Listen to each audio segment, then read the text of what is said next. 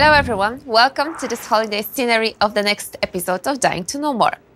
Recently, you flooded us with thousands of comments about one thing health bars. So, today, together with my guests, we will talk more about user interface and experience of Dying Light 2 Stay Human. Hello, Agata. Hello. Are you ready to reveal some secrets? Sure, but to be honest, there are not that many secrets there. User experience is all about finding the balance between maximizing the fun that game is giving to the players, but also making it more immersive, especially when it comes to first-person gameplay. Okay, so can you tell us more about it? What is your main goal in creating user interface in Dying Light 2 Stay Human? When we are creating UI, the most important thing for us is to make this game as easy as possible to understand for the players. And this is why we gathered thousands of hours of recording for the playtest and gigabytes of data to help us find this perfect mix. Mm-hmm. And how do you do that? It is challenging, of course, but after analyzing all of those data, we find different profiles of our gamers. For example, there are those players who are more experienced in action games. For them, they prefer more immersive experience, so they would like to turn off every possible HUD elements. But on the other hand, there are also those players that love information. And for them, every possible option that can be turned on is more informative. Those players come mostly from, let's say, MMO or RPG driven backgrounds they love to have every possible widget turned on on the HUD to see what's the progress of their quest or what's the enemy health bar is. Okay, and what about player's skill level? We also have less skilled player. And during the playtest, then they enjoyed and even asked us for any additional help that UI can provide them. The most important thing that we need to think about everyone. And how do you find the balance between all these needs? I don't think that there is a one profile that fits all the players. No, there isn't. That's why it is really important for us to give some option to the player, the possibility to customize their HUD, but in doing that, also their experience. Mm-hmm. So, can you give us an example of this customization? Health bars, for example. Yeah, it, you don't want them? No problem. We won't force you to use it. And this is a message to everyone that was concerned about it. You will be possible to just switch it off. Oh, that's cool. I read a lot of comments about that. Yes, and we also read almost all of them. So, if I am a player who focuses on immersive gameplay, will I be able to switch off all of the unnecessary elements that I don't like? Yes, we are trying to make the UI and HUD the most adjustable to your needs. And this is also really important in case of accessibility. You know, Dying Light 2 Stay Human is very dynamic game with dynamic gameplay, dynamic music, and of course some elements of the HUD also needed to be dynamic, like for example quest log. And for some players, it's really cool to have all of those dynamic and immersive elements turned on. The other would prefer to just have the statics element of the HUD. Mm-hmm. And you said dynamic quest log. What is that? For example, this quest log is shown only when you are inside the area that this specific quest is going on, or you are doing some specific action connected to this particular quest. But of course, if you feel the need to see some more information about it, you can simply hold the button and the quest log will appear on the screen. Okay, so all of the actions that are happening around me in my gameplay also will be reflected on the screen.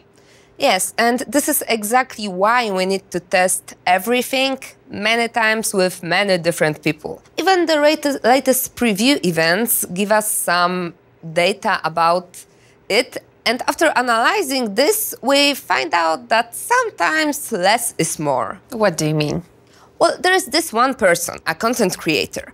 After his previous session, he made a video that's showing how cool and great he is while parkouring. So on this gameplay, he's doing one combo after another, and this small widget that is popping up on the screen while you're gaining parkour experience point On this video is visible all the time for almost three minutes when he was tracking one combo after another. It was insane. Okay, so what does it tell you from the user experience perspective?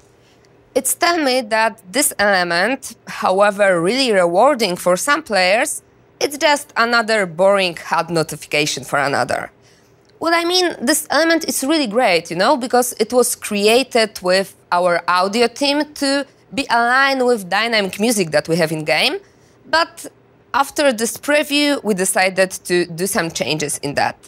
What I want to say is that UI needs to be useful and clear for everybody.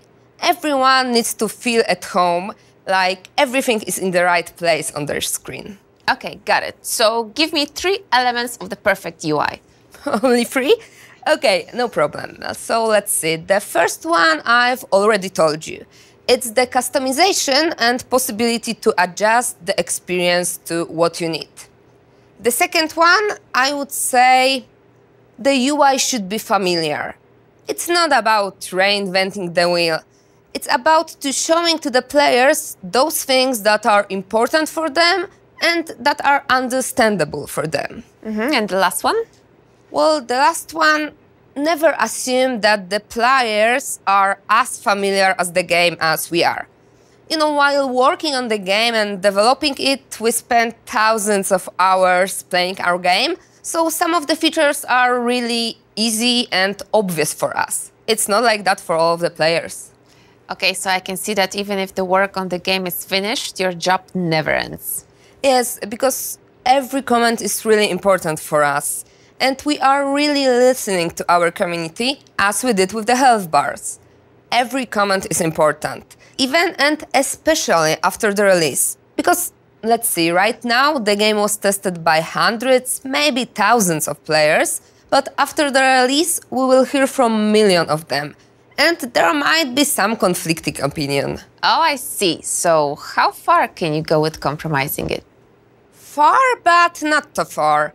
You know, when we are receiving some conflicting opinion, the thing that we need to look for is not to sacrifice our game design vision. But don't worry, we have our ways to do that. Okay, so I'm not. But you've mentioned before accessibility. Are there any options in Dying Light 2 Stay Human? Absolutely. Dying Light 2 is complex, open world, first person RPG games. That means some limitation but we really want to make it accessible for people with disabilities. Okay, I see. We do that by listening to people and analyzing their behaviors. This is what's really important to me and in user experience itself, that it should really suit the people. Mm -hmm. Can you give us any examples of accessibility in Dying Light 2? Sure. For example, we have some option to customize the visuals of the dialogue, so the size of the uh, text, background color, or the color of the speaker names for those with visual and hearing disabilities. There's also possibility to switch between tapping to holding the button for QuickTime events for those with motion disability. And we also add couple of profiles for color blindness people, but we are still exploring this area. Okay, but what about, for example, left-handed people? Oh yes, we are going to have a special control profile for left-handed people too. And once the Dying Light fans starts playing and sharing their experience, we are planning to add even more. We can't wait to hear their feedback. Okay, thank you, Agata. You shared a lot of information with us. Thanks, Paulina, for having me here. And as always, Thank you very much for watching us today. And remember that Dying Light 2 Stay Human will be released really, really soon. So don't forget to pre-order it at preorder.dyinglightgame.com. See you soon. Happy holidays. And remember to stay human.